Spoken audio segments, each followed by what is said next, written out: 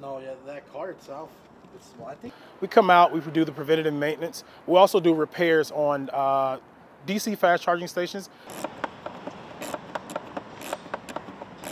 Uh, we're seeing that one of the problems is the availability of charging stations as well as them actually working. So that's the most important thing to me is making sure that those chargers are working every day.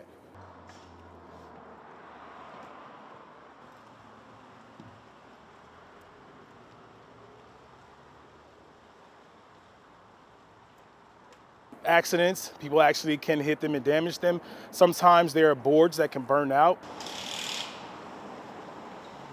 Unusual repairs, uh, we've seen where um, a station did not work because there was a squirrel that actually kind of got into the system and he actually was burned. Uh, we've seen frogs. Uh, we've seen wasp nests uh, where there's literally been bees and there's a honeycomb and honey is coming out of the side of the station.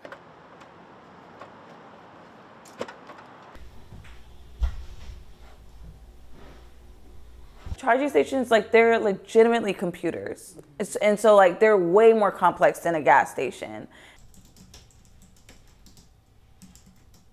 I started ChargerHelp because i really believed that electric vehicle and electrification was something that could help our air quality. Um, i come from a community that we're severely impacted by poor air quality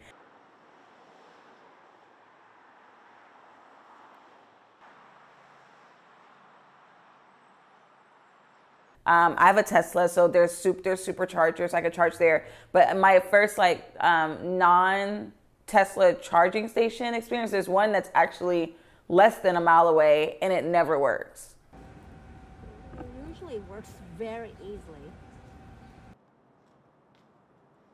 Sophie, Sophie Not first generation.